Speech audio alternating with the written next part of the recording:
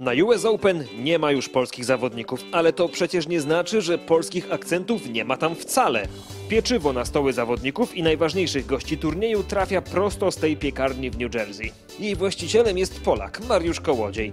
Do Stanów przyjechał 25 lat temu. Jego American Dream na początku wyglądał podobnie jak tysięcy innych rodaków za oceanem. Zacząłem tak jak każdy człowiek, pracując w różnego rodzaju, od mechanika samochodowego do, do pracownika fizycznego na budowach. Zarobione pieniądze inwestował w nieruchomości, aż pewnego dnia trafił na niewielką piekarnię.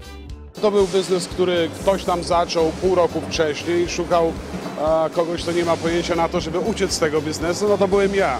I tak się zaczęła przygoda z wypiekami. Kołodziej w zawodzie był żółtodziobem, jednak miał się od kogo uczyć.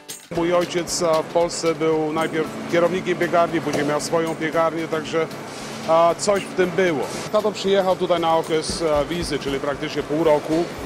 Pomógł mi na samym początku, ale niestety musiał wrócić i, zostawił mnie z rzeczami, o których nie miałem pojęcia. Kurs praktyczny piekarnictwa przeszedł na tyle sprawnie, że z czasem po jego wyroby zaczęły zgłaszać się topowe nowojorskie hotele.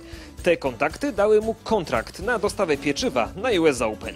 Dziś najlepsi tenisiści świata mogą rozsmakowywać się takich oto rarytasach. Przykładowo są to country rolls, semolina French baguettes, są to raisin pecan rolls, kalamata olives, um, tak samo crisps, uh, grano pedano pecorino romano crisps, które będują z sałatkami.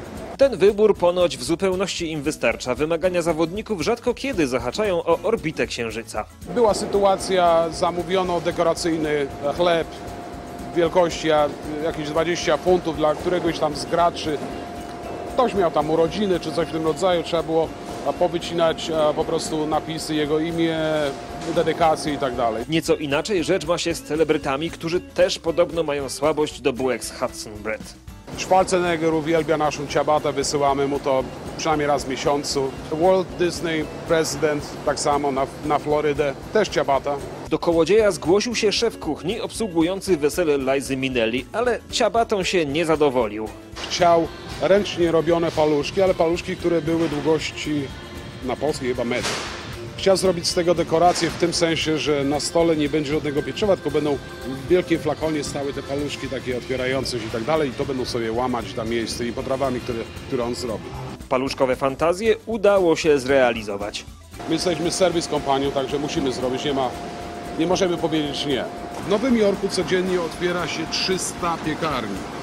300 codziennie, jeżeli cały rok weźmiemy. Do końca dnia utrzymuje się 001. Może właśnie dlatego Hudson Bread na koniec każdego dnia jest tą 001.